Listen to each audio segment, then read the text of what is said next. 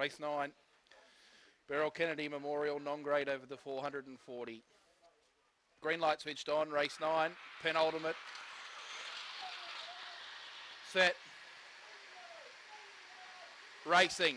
Pinging straight to the top was flatlined. Evie's best to the outside of it and pushing up in behind them. Super Kadani. A break back on the inside then was Mr. Music. Super Sook pushing up in behind those. Water out Cicatriz. And back to last of all there now was Cobra in motion. It's tight and compact up front where Super Kadani got through. Out wide now was Cicatriz with his run and Cicatriz crossed over. Kicking act underneath them now. Super Sook. Super Sook and Cicatriz. Cicatriz beat. Super Sook. Then came Mr. Music. In behind those was Cobra in motion. Water out Super Kadani. Then came Leggy Blonde. Evie's best, never fired, and it was one of the last ones into the catching pen along with flat Flatline. Cicatriz. He was boxed beautifully out off the track. He just tracked them and kept tracking forward, kept punching up. Nine even and two dollars.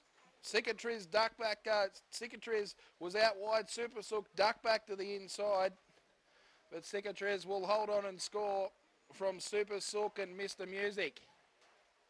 Super Cadeni winding up in fourth. They were tight and compact on the apex. And that's when Cicatriz put the paw to the floor and circled them out wide as they spun for home.